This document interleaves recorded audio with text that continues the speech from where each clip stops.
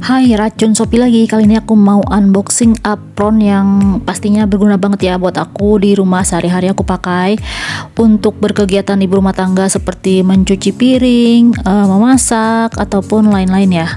Ini adalah apron warna hitam. Aku pilih warna hitam karena biar nggak cepat kotor uh, bahannya tuh waterproof ya anti air jadi kalau kalian lagi beraktivitas uh, di dapur atau lagi uh, kegiatan ibu rumah tangga di rumah ini sih kepake banget ya.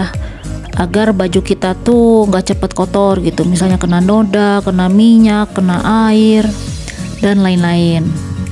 Bahannya juga bagus sih tebal ya. Lumayan. Enak dipakainya terus stylish seperti Master Chef Indonesia nih ya modelnya tuh kekinian dan ada dua atau tiga kantong ya ada tiga kantong di situ ada dua kantong besar bisa naruh handphone atau alat tulis atau kertas resep misalnya dan juga ada kantong kecilnya. Buruan cek deskripsi